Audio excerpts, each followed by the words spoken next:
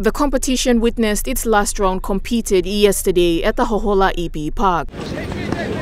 Tournament President Kambi Ingiman highlighted that the competition will devise the top eight finals tier for its women's division, while the men's division will compete in the top 16 final structure. Last week, go around Next weekend, I'm going to final. Well, Miriam, last two round of play. After two round of play, I'm going to top 12 na fopla bai fop 8 pla tamblo play go gam winner blo tamblo play final one time man team President Ingiman is hoping that with the successful completion of the 12 regular rounds, he expects to see the same as they head into their finals playoff come Friday, the 3rd of February 2023, here at the Hohola EP Park.